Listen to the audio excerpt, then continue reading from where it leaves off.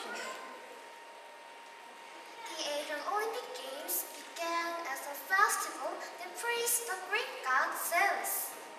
The Asian Olympic Games are believed to have begun in 766 BC.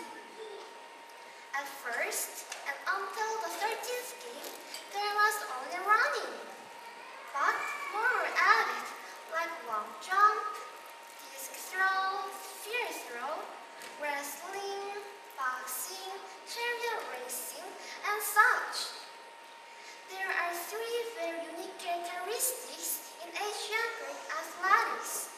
First, athletes played while they were naked.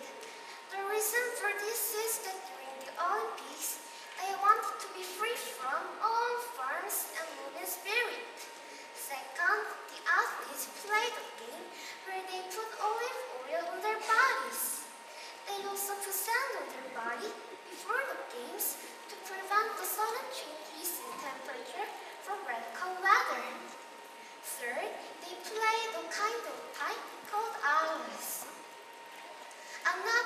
Interesting fact is that, unlike what we know, the Olympic Games Asia Greek were eight years apart. The reason is quite simple. The Asian Greek believed that the number eight is perfect. Then, why did the eight-year cycle change to four-year cycle? At that time, Greece was faced with endless wars and epidemics. Then, the king of Elis demanded a ceasefire. The reason for this was the Olympiad. Asian people thought that they could not fight and they were worshipping their gods. They also thought that it would prevent them from going to war in the future.